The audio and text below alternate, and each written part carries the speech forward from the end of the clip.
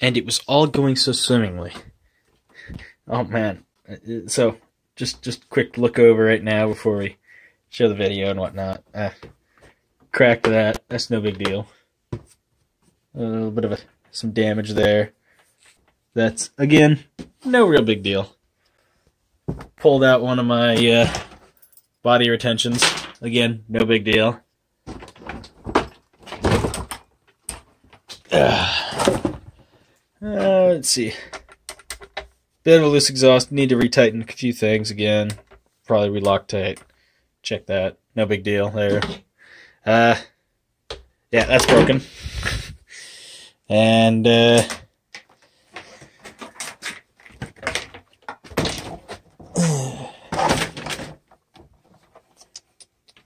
that's broken. Broken. So yeah. Fun times.